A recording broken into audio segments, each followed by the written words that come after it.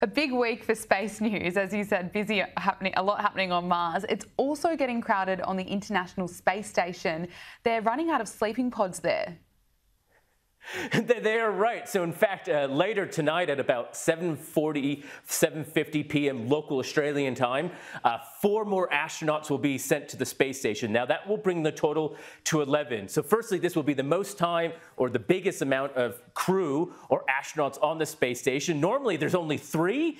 Uh, and you know, the space station's about the size of a five bedroom house. So, you know, it's one thing to have three people, maybe five people each get your own room. 11 people, you start to become a little bit cozy in there. In fact, as you said, they're going to run out of beds.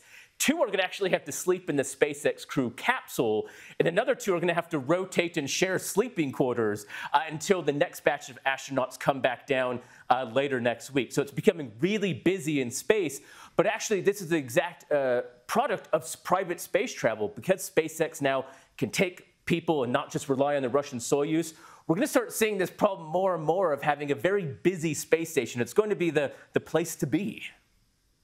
Yeah, have to put hotels up there.